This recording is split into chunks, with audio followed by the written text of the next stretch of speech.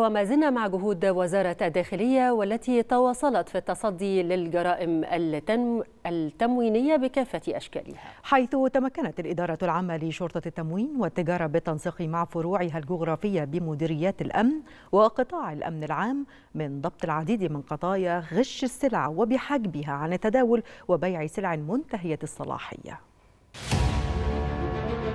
تتواصل الجهود الأمنية للتصدي للجرائم التموينية المتنوعة. في هذا السياق شنت الإدارة العامة لشرطة التموين والتجارة حملات أمنية مكبرة تنسيقا وقطاع الأمن العام ومديريات الأمن. أسفرت عن ضبط أكثر من 66 طن دقيق بلدي مدعم قام مالك ومسؤول عدد من المخابز البلدية ومستودع دقيق بلدي بالجيزة وقنا وشمال سيناء بالتصرف فيها بالبيع بالسوق السوداء.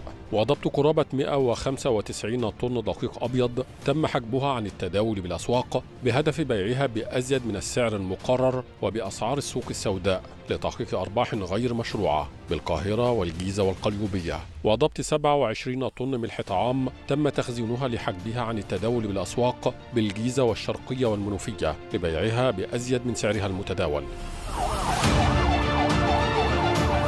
ونجحت الأجهزة الأمنية في إطار استمرار تصديها لجرائم حجب السلع عن التداول بالأسواق لرفع أسعارها. في ضبط أكثر من 52 طن مواد غذائية متنوعة تم حجبها عن التداول بالأسواق بالجيزة والقليوبية. وضبط أكثر من 22 طن أرز أبيض تم تخزينها لحجبها عن التداول بالأسواق بالقليوبية والدقهلية لبيعها بأزيد من السعر المتداول.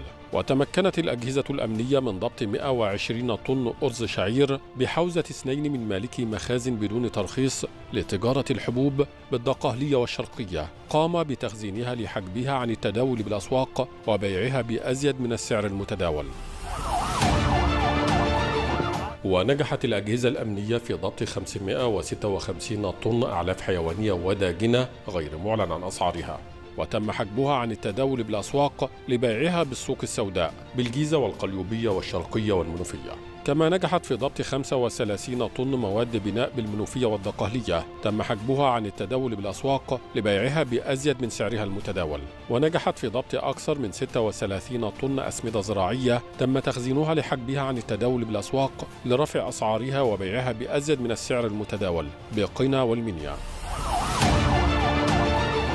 وعلى صعيد التصدي لجرائم بيع سلع منتهية الصلاحية نجحت الأجهزة الأمنية في ضبط قرابة ثمانية أطنان جبن أبيض غير صالحة للاستهلاك الآدمي بحوزة مالك ثلاجة لحفظ السلع الغذائية بالقاهرة وضبط أكثر من 77 طن لحوم ودواجن وأسماك غير صالحة للاستهلاك الآدمي بالدقهلية والقاهرة والجيزة. واستمرارا لنجاحات أجهزة وزارة الداخلية في التصدي لجرائم بيع سلع منتهية الصلاحية. نجحت في ضبط 210 طن أعلاف حيوانية غير صالحة للاستخدام الحيواني بحوزة مالك مصنع لإنتاج وتعبئة الأعلاف الحيوانية بالمنوفية. وتمكنت من ضبط 57 طن ونصف مواد خام ومستلزمات إنتاج بلاستيك غير مطابقة للمواصفات القياسية بمصنع غير مرخص لإنتاج المنتجات البلاستيكية بالقليوبية وضبط أكثر من 15 طن منظفات صناعية غير مطابقة للمواصفات القياسية بحوزة المسؤول عن مخزن لتعبئة المنظفات الصناعية بالقليوبية